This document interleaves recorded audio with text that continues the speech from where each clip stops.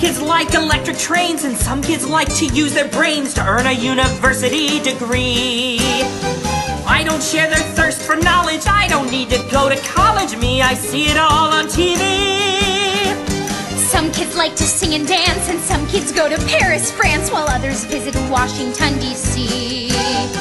I don't learn a single thing, cause I can download anything. It's all on my computer for free. Kids go to baseball games, and other kids have useless aims like 10 days at a Boy Scout jamboree.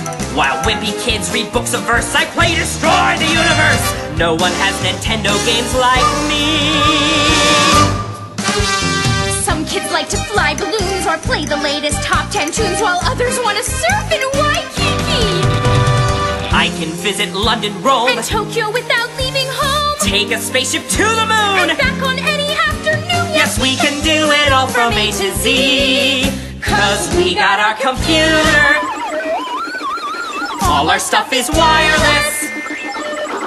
We can see it all on TV. On TV.